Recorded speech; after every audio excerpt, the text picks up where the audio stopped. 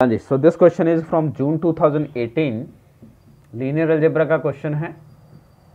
बहुत बेसिक सा क्वेश्चन है।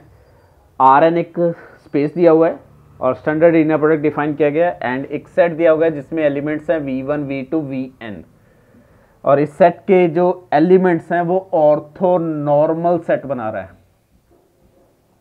और orthonormal basis of R N है।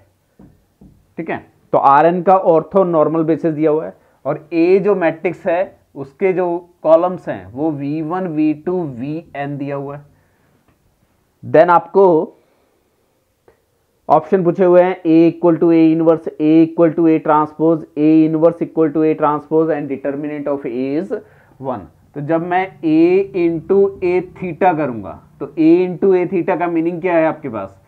यहाँ से आपके पास V one vector V two vector and N vector and then A theta करूँगा तो उसमें आ जाएगा V one conjugate transpose V two conjugate transpose तो इसको मैं लिख रहा हूँ V one theta V two theta और एन थीटा जब मैं इसको मल्टीप्लाई करूँगा तो पहला component V one V one theta V one V two theta V one V N theta आ जाएगा।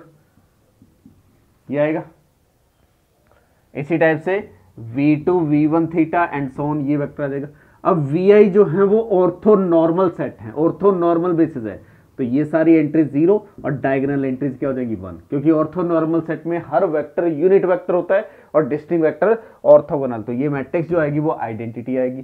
तो ये जो ए दिया हुआ है, वो कौन सी मैट्रिक्स है? यूनिटरी मैट्रिक्स है।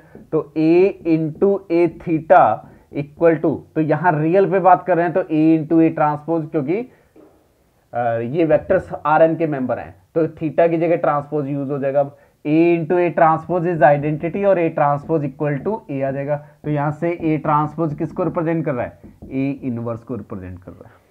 ठीक है? तो यहाँ जो सी ऑप्शन है it should be true remaining all are false option